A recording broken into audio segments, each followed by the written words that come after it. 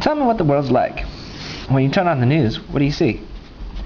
Well, between all the violence and war and terrorism and the AIDS pandemic and global warming, we've got to say our world's pretty messed up. What's interesting is how we feel about that. Uh, none of us think that that's a great thing. All of us long and ache for a better world. Well, isn't that interesting? Because um, hunger seems to point to the fact that food exists, and thirst points to the fact that water or drink exists. So our longing and aching for a better world seems to point to the fact that either a better world did exist or will one day exist. Well, in the Christian worldview, we believe it did, and that um, back in the day, um, God designed it so that the planet took care of us and we took care of it, and we took care of each other, and God took care of us and we blessed Him back, and that the whole thing was designed for good. So how did we get here?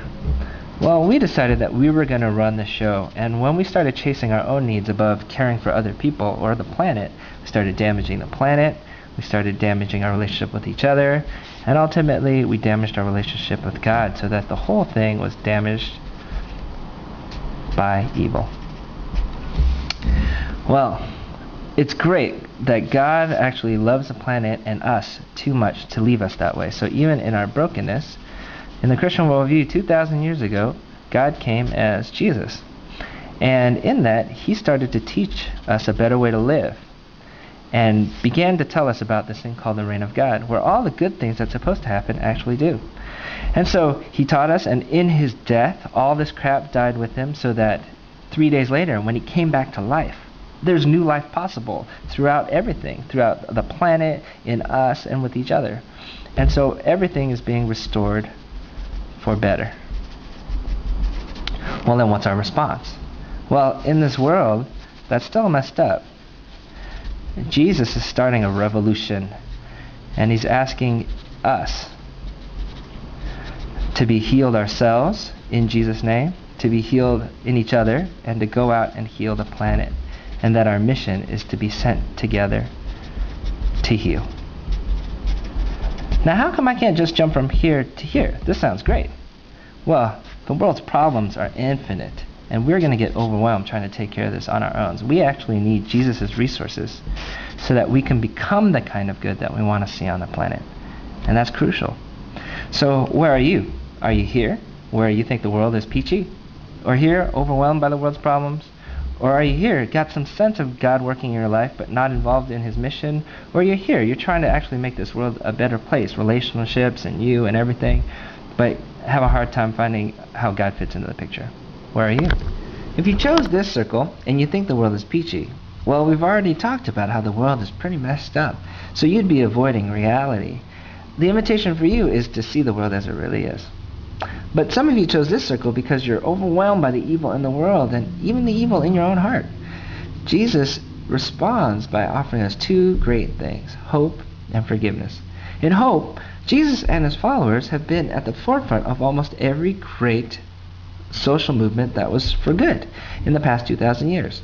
Stuff like human rights, civil rights, public education, women's suffrage, the abolitionist movement, rights for the disabled, these are all things that were spearheaded by Christians.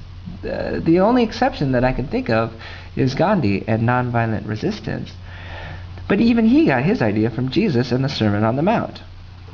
Jesus and his followers have been on this movement for the past 2,000 years, and in the end of time, we will all live in a world where this evil no longer exists. That's the hope. But there's also forgiveness. We all know the junk in our hearts, and through Jesus and the cross and his resurrection, he offers us forgiveness so that we can join this movement without guilt or shame. Some of us chose this circle because we're followers of Jesus, but we're not a part of this, healing the world. And Jesus wants to make it clear that if we're not a part of this, then we're a part of this. And we've made faith about what we can get out of it and what it can do for us. And in so doing, we're the exact opposite of loving God and loving our neighbor. Some of us chose this because we want to be a part of healing the world, but we don't know how Jesus or spirituality fits into all that. And the rub is this there is a lot of evil in the world, and the only way to give lasting response, uh, lasting good in a context of evil is through love. We can't do it through our anger, we can't do it through our hatred, we can't do it through our pride or our fears. We have to do it through love. And Jesus, in his love for us, offers us a chance to be fully loved in ourselves, and in that, for that to spread out into our relationships and in our attitude toward the world.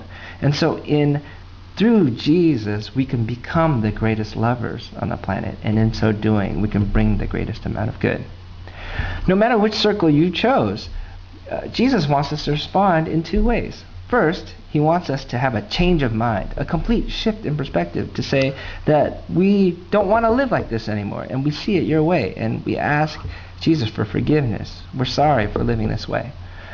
And not only do we have a change in perspective, Jesus also wants us to trust Him, to trust His way of seeing the world, to trust what He's doing in the world, to trust Him, and ultimately to trust Him so much to allow Him to be the leader of our lives so that He can change us on the inside and He can change our relationships and He can bring healing to the world through us.